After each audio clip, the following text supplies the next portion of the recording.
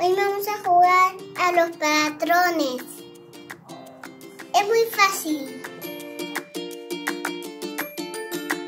Los materiales que vamos a ocupar en este juego van a ser legos de colores y principalmente nuestro cuerpo. Este juego permite a niñas y niños aprender dos principios importantes sobre los patrones. Ellos son estabilidad y orden. Las matemáticas son divertidas e interesantes, por ello es clave el juego y fomentar el descubrimiento por sobre el ejercicio.